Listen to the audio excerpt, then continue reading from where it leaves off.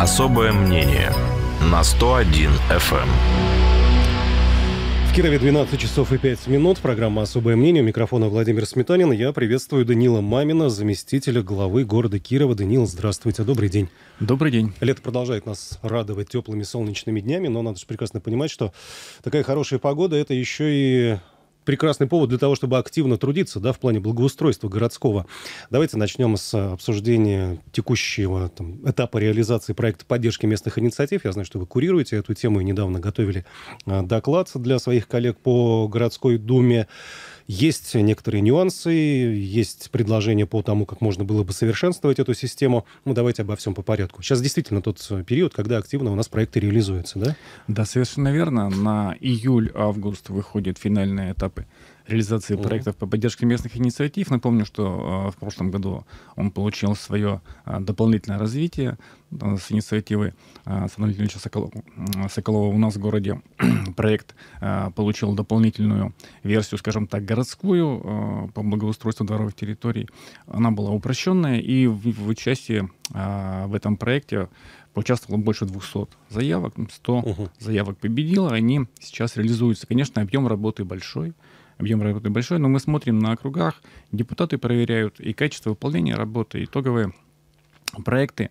А, хочется отметить, что при участии а, депутатов а, либо специальных структур, которые помогали в разработке документации, проблем обычно никаких не возникает. Но в то же время возникают вопросы, когда на этапе подготовки заявки многие вещи делались просто жителями по своей личной инициативе, угу. при своем знаний, умений, ну, максимум сотрудничества с управляющими компаниями. То есть не специалисты, да? Да, зачастую у нас. Да, зачастую. И вот этот вопрос, он возникает, мы а, об этом как раз и докладывали депутатам, коллегам на заседании. Угу. Но а, хочется отметить, что сейчас все моменты, которые возникали, сложные, связанные с а, подготовкой документации, с особенностями, которые есть, а, были отмечены.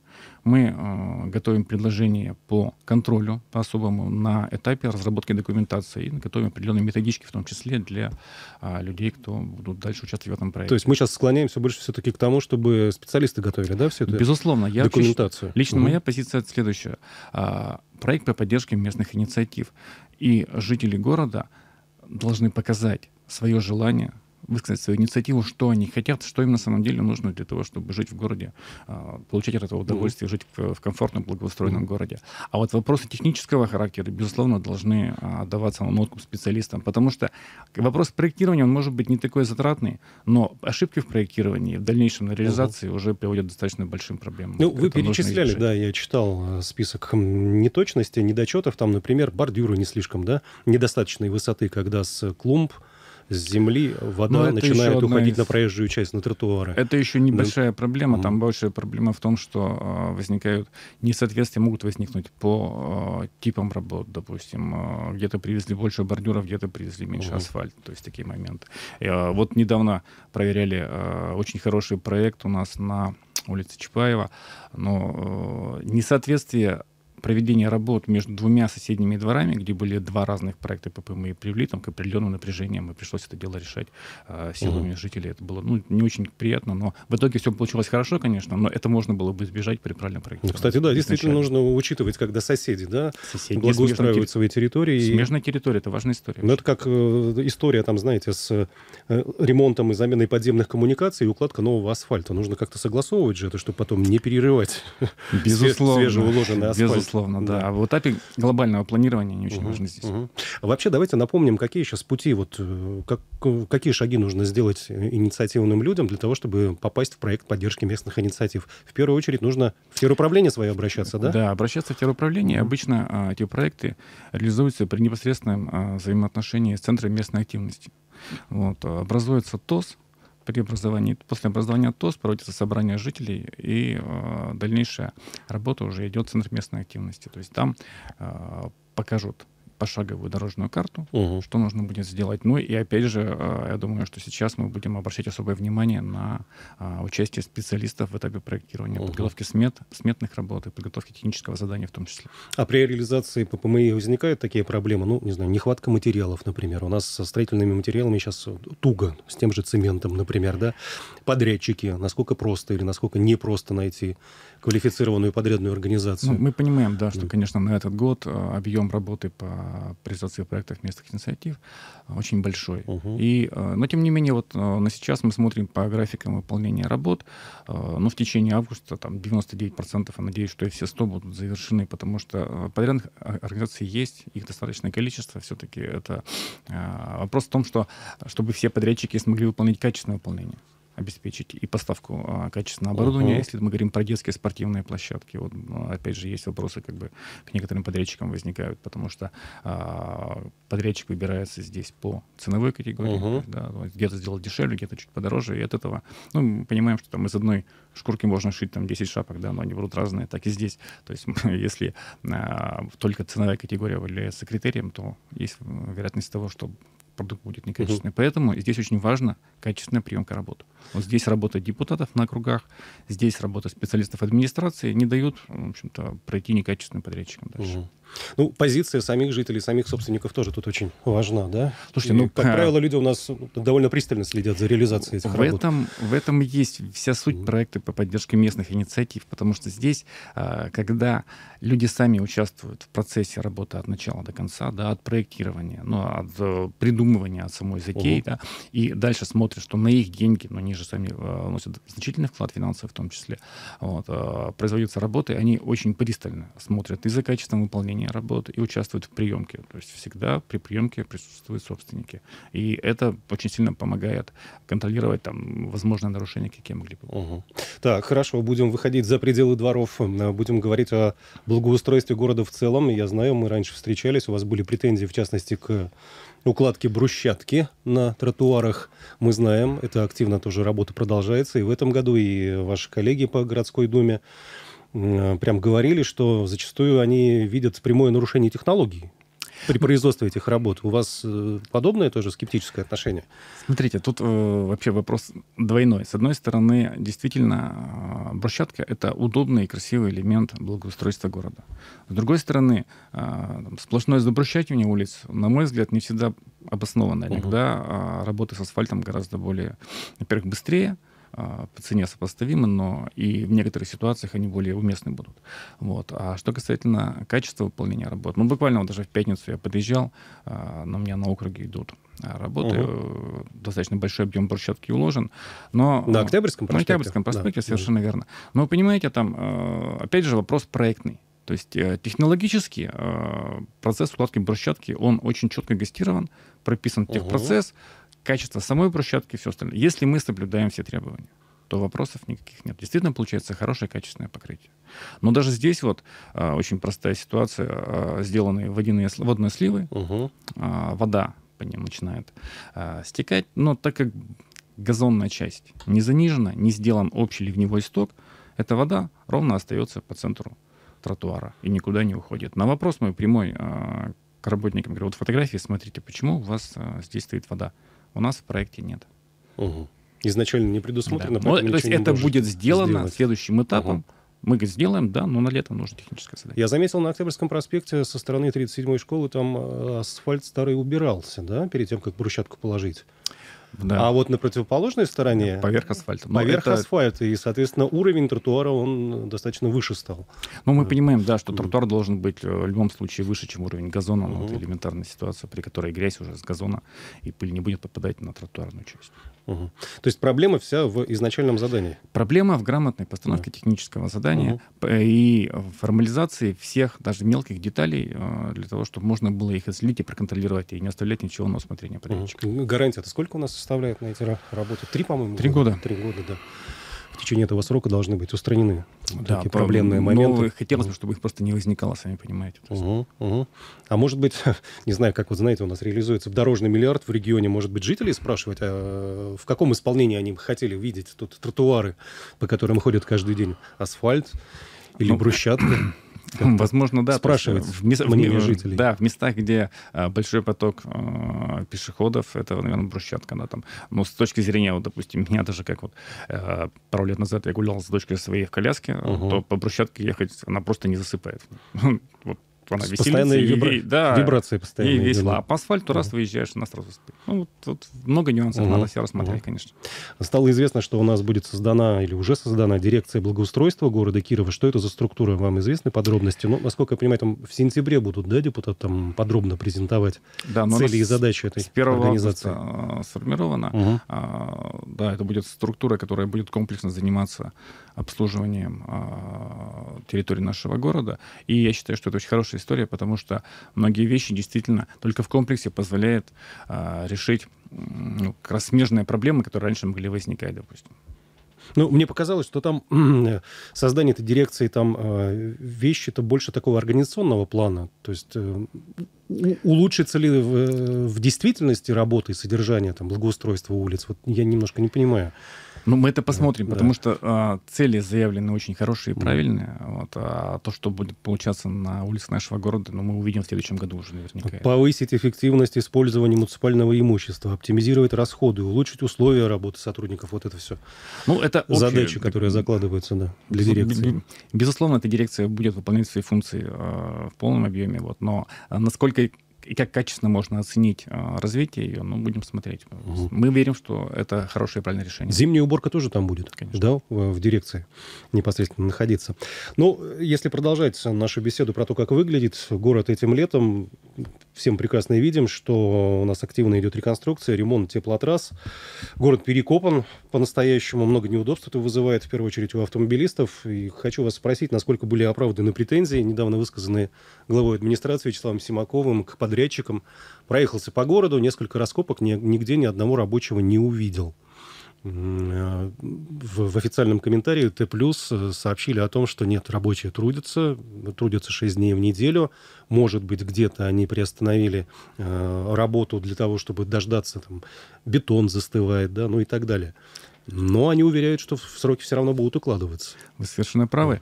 И э, здесь я, а, как и многие и жители города, все время у меня возникали вопросы, почему там действительно никого в какой-то момент не бывает, где-то что-то еще. Вот. Но а, пообщавшись и с работниками, пообщавшись с руководством, мы нам вопросы и жители задавали на округе у нас в том числе, а, ответ действительно нас, по крайней мере, на сегодняшний день удовлетворил, потому что многие этих процессы, они происходят со временем, да, то есть там бетон набирает прочность, вы совершенно правильно сказали. Mm. В этот момент там работы не производятся. А, но, насколько мы видим, по объектам, которые уже сейчас сданы и а, завершены, а, порядные организации ну, практически укладываются в срок. Вот. Но мы же еще должны понимать, что а, нагрузка удвоенная, потому что в следующем году у нас юбилей города, uh-huh. и никакие работы в центре города проводиться такого характера, конечно, не должны. И поэтому я так понимаю, что все работы плани... плановые там, следующего uh-huh. года, они проведены в этом году. Ну, немножко мы чуть-чуть, я думаю, еще потерпим. А к вопросам безопасности, как вот вы видите, там, наличие ограждений, освещения? Ну, вот смотрите, в ночное время там были тоже претензии? Вот смотрите, по работам а, крупным, которые проводит Т+, а, все объекты, которые вот, то, с чем мы сталкиваемся и видим в городе, здесь в центре, они все ограждены. Э, ограждение хорошее, знаки, освещение стоит. Вот. Ну, пока еще, конечно, светлое время суток, в ночное время суток освещение обязано быть, и за этим э, контролирующий орган наблюдает постоянно. Угу. Ну, автомобилистам остается лишь только терпение пожелать. Видимо, ну и правильно выбирать маршрут. На, на, на данном этапе. Вот с маршрутами у нас, наверное, не очень все-таки в городе. Не так велик список улиц, где можно объехать там проблемное место. Ну, согласен. Мы же знаем, у нас сколько? Две основных магистрали на, в запад да, города ведут. Московская и Воровского. Все. Но здесь вот нужно, наверное, было бы, конечно, рассмотреть варианты улиц дублеров, то есть, да, каким-то образом, может быть, по ним ограничить а, парковочные там, возможности, возможности, возможности парковки, да? тем самым расширить тем, а, пропускную способность на период работы, например. Ну, то угу. есть, может быть, какие-то решения, которые могут быть приняты в дальнейшем. Угу. Я напоминаю, что мы беседуем с Данилом Маминым, заместителем главы э, города Кирова. Про газоны бы сейчас хотел спросить ваше мнение. Губернатор Соколов не так давно призвал больше внимания уделять газонам. Э, в областном центре глава администрации Вячеслав Симаков на это ответил, что да, мы собираемся более активно работать в этом отношении. В следующем году хотим опробовать технологию гидропосева газона. Я тут даже поинтересовался специально, почитал статью, что такое гидропосев. Это раствор семян газона, семян травы, там плюс э, связующие, связующие вещества. всякие, да, там удобрения и так далее, клейковина, чтобы это все вот э, находилось в защищенном состоянии, эти семена. Но очень будет интересно посмотреть, как это реализовываться. Вообще роль газона, она какая в современном городе? И есть ли у нас полноценные пространства, которые вот отвечают этому понятию газон? Огороженная зона там с каким-то полувыгоревшим, полувытоптанным э, пространством зеленым, это, наверное, не газон все-таки. Ну, смотрите, то есть а, вообще история же газонов она достаточно такая давняя, uh-huh. да. А, и секрет хорошего газона тут, в общем-то, всем известен. И по старым, Надо работать. По старым анекдотам, да, то есть 300 лет вы его косите э, и поливаете, и у нас отличный газон, проблемы нет. Вот. А, роль газона в городе очень высока с точки зрения, прежде всего, и формирования там некого микроклимата. То есть газон отдает достаточно хорошую влагу. Это и задержка пыли и мусора которые не летают уже по городу совершенно там э, хаотичным образом. Ну и, конечно, эстетическая составляющая. И в этой части вот хочется обратить внимание, что газон может быть прежде всего разным. Это не просто отдельно взятая трава. Да? Uh-huh. То есть это может быть и, э, ну, и модный, и популярный, наверное, интересный э, газон, называемое разнотравье, где идет определенный набор трав, которые создают такую э, красивую живую историю. Uh-huh. Вот. Это и классические английские газоны, и спортивные газоны, да, то есть они совершенно имеют в своем основании разные типы культур, которые создают то или иное а, состояние у него. Но э, прежде всего, с точки зрения газона в городе, вот на мой взгляд, главное не только его эстетика, но и возможность его содержания и содержание его максимально экономично, скажем так. Потому что хороший газон поливать э, ежедневно, ну, это затраты сумасшедшие совершенно. Угу. Вот, а, поэтому, может быть, а, при правильном выборе а, культур здесь можно использовать и почвопокровники, там, вот, и там клевер, например, да. Возможно, на этапе м- высадки газона его создания. Это будет несколько дороже, нужно считать. Но в дальнейшем при его эксплуатации, при его содержании, там, эти затраты будут гораздо меньше, и э, что будет нормальным обоснованием uh-huh. для использования тех или иных культурных местах. Это первый момент. Второй момент какой? А, вот э, люди ругаются, что вот разнотравье, что это такое, там просто лук не покошенный, и все. Ну, ну на первый в, взгляд. В понимании да. обывателя, да, так да. оно и есть. Да. И э, с, с одной стороны, правильно, с другой стороны, если мы понимаем, что этот вот э, фрагмент газона будет выполнен на фоне маленького, аккуратненького постриженного газона, там, либо клевера, да, то это будет действительно отдельная культура, которая будет э, выявляться на фоне окружающего. Угу. Тогда это будет уже, в общем-то, определенная эстетическая составляющая иметь. А, ну, красота, она спасет мир. Угу. Ну, то есть, э, наверное, целесообразно начинать с каких-то небольших уголков, да? Ну, наверное, все хорошим газоном мы засеять не сможем. Ну, вот с участка определенного, ну, да, конечно, и потом да. расширяться, расширяться. Ну, то есть это, это какие-то скверы, это какие-то угу. парки, где люди находятся длительное время, а, то есть не транзитом проходят, да, а находятся постоянно. Вот эти, конечно, участки требуют особого внимания. А технология гидропосева, о чем мы сказали, она очень хороша, интересна, технологичная история, э, она повышает а, заметно схоживаемость, угу. потому что а, семена газона не там, не смывается, не сдувается ветром, как при обычном засеве. Там, там еще, не там, съедаются там, там же. Еще с красителем. Ну, краситель четко показывает. Видно, да, что вот конечно, здесь вот проведены, проведены эти работы. Эти да. работы угу. проводятся, ну и, соответственно, сразу получается, достаточно быстро получается хороший плотный газон. Угу. Конечно, идеальный вариант это вообще у нас рулонные газоны, но это уже совсем другие деньги. Это дороже, да.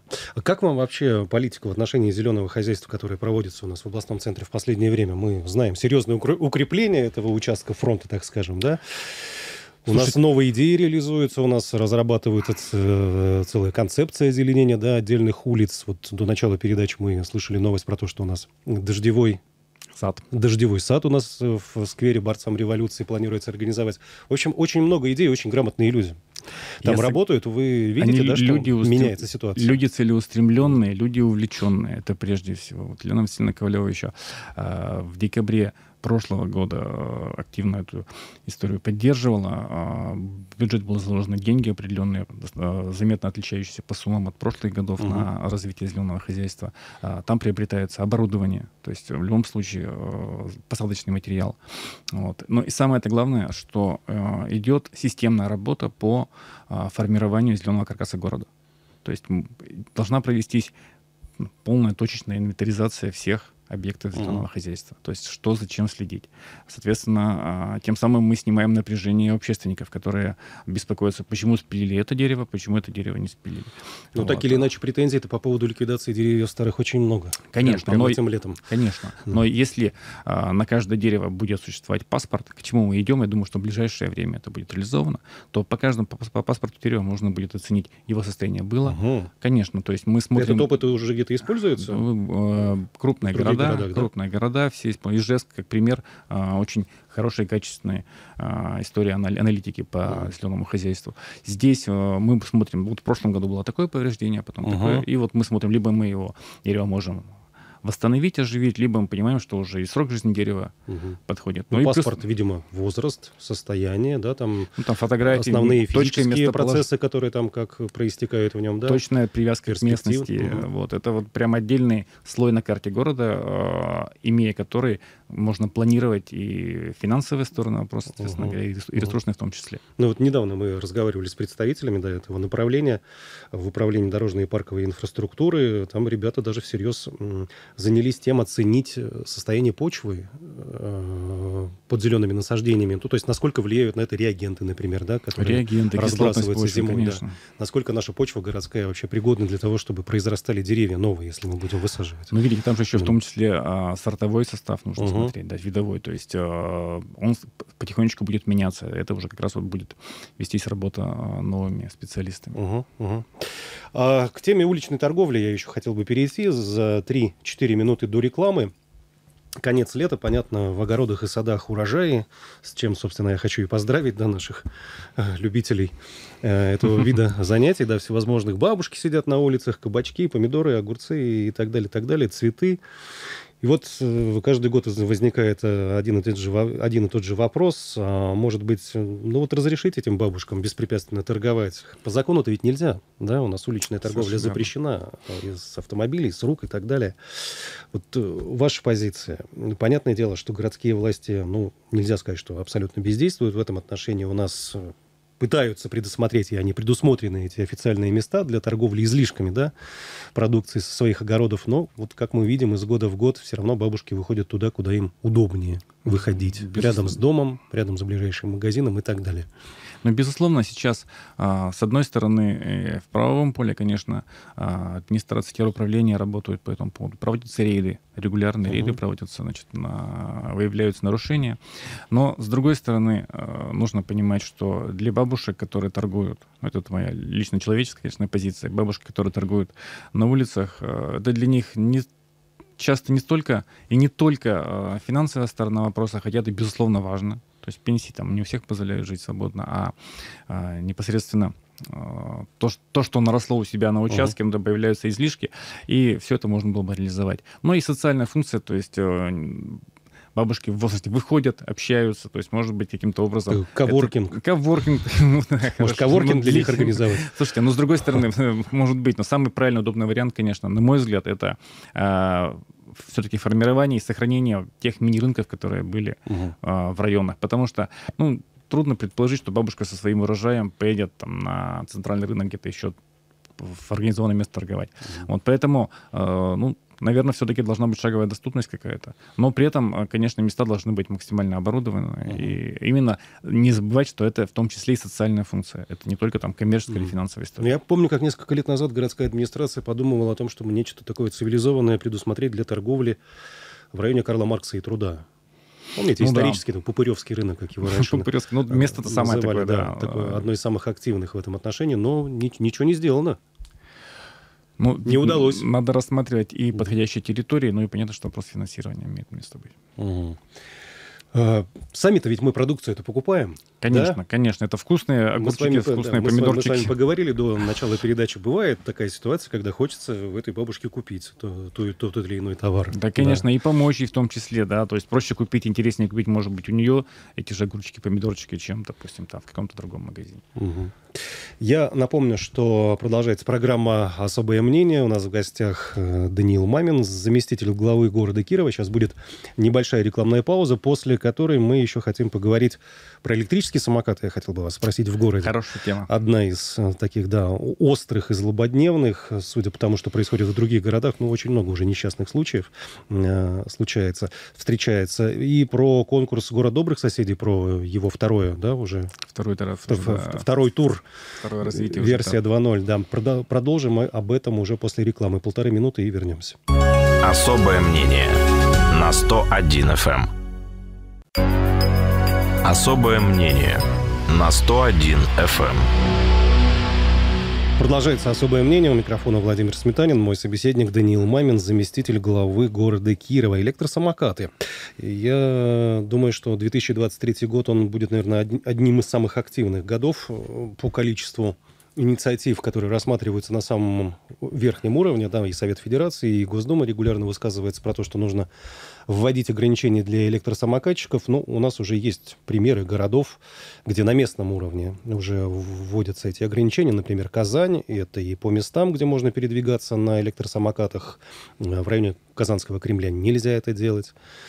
А, максимальная скорость, с которой можно двигаться, ну и так далее. Может быть, вот, Данил, у нас пора задуматься нашим местным властям, в том числе и коллегам вашим по Гордуме, как-то вот регламентировать все эти вещи.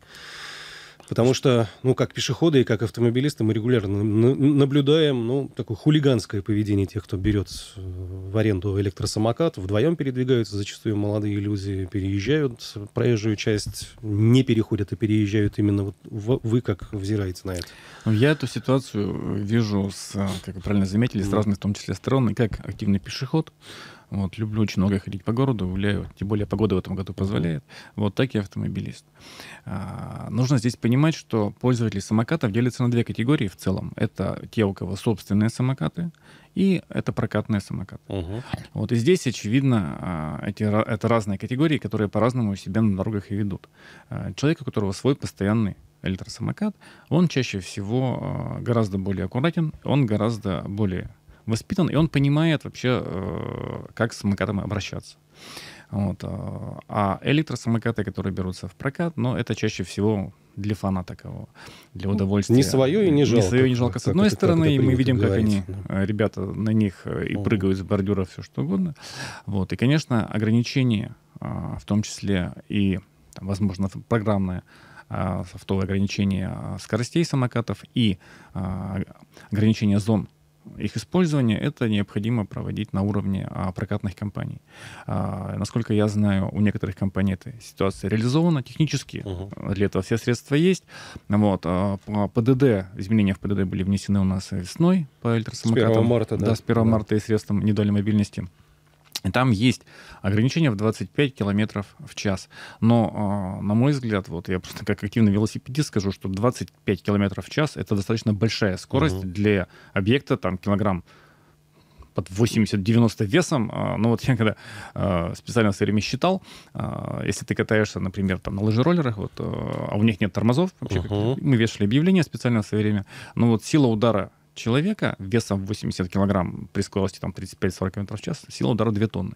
Ну, для понимания. Вот, он, то есть такой, при 25-30 км в час электросамокат несет достаточно большие повреждения, и тому примеров очень много. А здесь необходимо регулировать зоны, то есть и э, мы понимаем, что если по дорогам общего пользования в отсутствии велодорожек э, некоторые категории самокатчиков могут должны перемещаться, они по пешеходным тротуарам, вот, э, то там, да, 25 км в час это нормальное ограничение, которое ну, более-менее безопасно для а, того, кто находится за рулем. То на пешеходную зону, на тротуарах ограничение должно быть, конечно, значительно сильнее. То есть 10-15 км в час это более чем достаточно, чтобы спокойно перемещаться по тротуарам, э, учитывая трафик людей. Но при этом нужно понимать, что, вот, на мой взгляд, это за этим определенное будущее. То есть средства индивидуальной мобильности — это э, прекрасный транспортный решение транспортной проблемы Альтернатива города. Альтернатива вообще совершенно верно. И это правильная история. Развивать ее, да. А, велодорожки, которые позволяют по ним перемещаться СИМом, э, это э, безусловный плюс угу. для развития города и для для показания э, жителям, э, молодежи особенно, что город находится в тренде развития. То есть я вот за эту историю всегда обеими руками и готов это поддерживать. Вот, но прежде всего и в средствах индивидуальной мобильности, и в других проектах главное это безопасность. То есть вот здесь самые жесткие ограничения для людей, а, кто берут на прокат самокаты угу. и используют ли это все возможные способы. А разделяете ли эти призывы э, от членов Совета Федерации, звучавшие, надо обязать устанавливать регистрационные знаки на электросамокаты, надо обязать учиться на права, там какую-то категорию вводить отдельную и ну так вот, далее, и так далее. А вот здесь как раз да. вопрос в том, что а, самокаты, которые легкие, и которые даются в прокат, там, да, с ограничением скорости, они действительно не сильно отличаются от обычных там, велосипедов и uh-huh. средств таких а, маленьких самокатов. Вот. А те, которые уже а, самокаты тяжелые, позволяют развивать там боль, большую скорость, они, ну, скорее всего, да, они приближаются уже к скутерам, потому что uh-huh. мотоскутеры э, уже сейчас требуют и права, шлемы и все остальное. То есть это более должно быть четкое, более э, явное деление а, тех или иных средств мобильности. Но в общем и целом, в общем и целом, безусловно, это должна быть очень сильно регулируемая история. Не только бизнес, но еще и ответственный бизнес. Это прежде да, всего да. ответственный. Ну, я скажу так, что э, компании, которые сдают в прокат, хорошие компании, серьезные, они э, очень серьезно относятся к этим вопросам. Вопрос как бы регулирования на местах, чтобы мы э, со своей стороны из Думы и э, администрация четко формализовала те условия, которые нужно соблюдать. Я уверен, что э, компании прокатные будут их реализовывать. Итак, э, грантовый конкурс «Город добрых соседей». Решение уже принято о том, что он будет э, продлен, да? Ну, как продлен? Это будет новый, следующий этап. Следующий этап, но он до конца года. Или уже на следующий год Сейчас готовятся угу. документы, угу. будут готовы, будем смотреть. Угу. Так, подробности. Ну, подробности... Ваш коллега а, Михаил Курашин, он говорил о том, что там на событийку, да, ну, смотрите, принято вот, решение упор сделать. Упор сделать на событийку, потому что событийные проекты, они гораздо легче реализуются.